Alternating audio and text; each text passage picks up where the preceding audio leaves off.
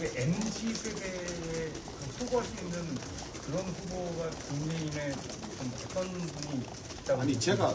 여러분들은 왜 자꾸 사람을 거기에 대입을 합니까? 저는 일반적으로 이런 음, 능력이나 자질을 갖추면 좋겠다인데 방송법 개정안에 대해서 그 국민의힘 그 당론으로 논의해가지고 뭐 이제 내세웠던 어떤 대안이나 좀 논의한 바가 혹시 있으신지 지금 반대하는 입장만 내는 겁니다. 준비 중에 있고요. 예전에 민주당이 내놓았던 안이 있습니다. 최소한 그런 안으로라도 내야 이야기가 되는 것이지 미디어 오늘 예, 조금 진전이 있었습니다. 감액에 관해서 의견 차이가 있었던 부분에 대해서 의견을 좁힌 부분이 많다고 보고를 받았습니다. 구체적으로 좀 어떤 부분이 예, 구체적으로 어떤 부분이 아직 완전히 확정되지 않았기 때문에 또 마지막에 변동 가능성이 있기 때문에 항목들을 구체적으로 말씀드리는 것은 지금 이 시기에는 적절치 않은 것 같습니다. 오늘 혹시 원내대표 간좀 회동이 예정돼 있을까요? 원내대표단끼리 회동은 아직 정해진 건 없습니다만 필요하면 오후에 만나도록 하겠습니다. 원내대표 예, 만나요. 예. 대표님 3일은 대구 방문해서 그 결혼하신 이후에 한동훈 장관 차출설이 나오고 있는데요.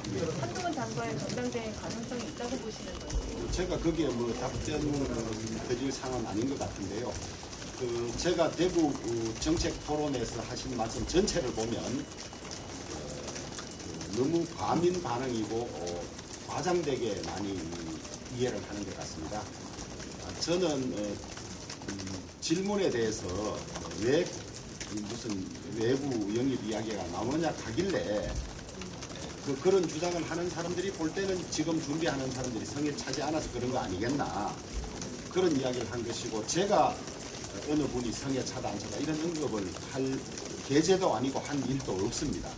없고 그 다음에 다음 당대표의 조건이 어떤 거라고 생각하느냐고 하기에 수도권 선거에 잘 견인할 수 있는 분이라고 했는데 그것이 수도권 출신을 언급한 것은 아닙니다. 수도권 출신이 수도권 선거를 잘한다는 보장이 있는 것도 아니지 않습니까? 그러니까 너무 예민하게 반응하실 건 없고 제가 그냥 일반론을 이야기한 겁니다.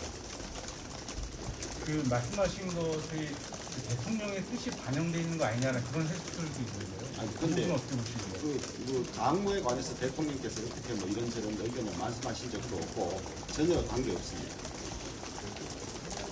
그 MZ 세대에 그 소구할 수 있는 그런 후보가 국민의힘에 좀 어떤 분이 있다고 아니 제가? 여러분들은 왜 자꾸 사람을 거기에 대입을 합니까? 저는 일반적으로 이런 음, 능력이나 자질을 갖추면 좋겠다인데 제가 무슨 어느 특정 분을 염두에 두고 그런 발언을 한 바가 아니고 선거 승리 조건이라는 것이 다 있지 않습니까? 일반론적인 조건들이 그 조건에 비춰보면 그런 것들은 다 필요한 요소이기 때문에 이야기했던 것입니다. 다른 거 하나 여쭤봤으면 하는데요. 방송법 개정안에 대해서 그 국민의힘 그 당론으로 지금 논의해가지고 뭐 이제 내세웠던 어떤 대안이나 좀 논의한 바가 혹시 있으신지 지금 반대하는 입장만 내는 겁니다. 준비 중에 있고요. 어, 민주당이 지금 여러분 아시다시피 문재인 정권 5년 동안 공영방송들, 지상파들이 어떤 형태의 보도 형태를 취한지 잘 알고 있지 않습니까?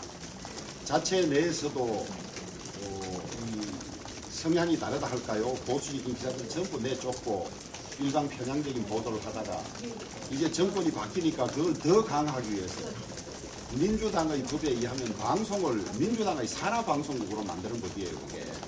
그러니까 절대 동의할 수가 없고 예전에 민주당이 내놓았던 안이 있습니다. 최소한 그런 안으로라도 내야 이야기가 되는 것이지 실질적으로는 여러 사람 참여시켜서 합의제로 한다고 하면서 모두 자신들과 성향이 같은 사람들 넣어서 방송 장악하겠다는 너무 무모한 법안이고 국민을 진짜 너무 바보로 하는 법안이에요.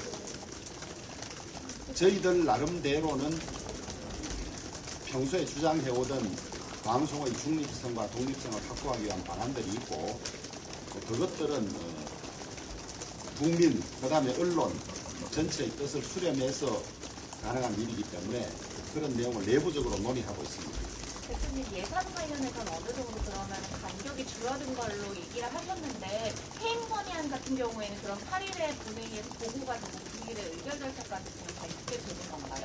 그거는 어, 민주당이 어떤 입장을 취하느냐에, 취하느냐에 따라서 달라질 수 있습니다만은 만약에 그런 변수가 개입된다면 어, 예산이 지장을 받게 되겠죠. 마치겠습니다.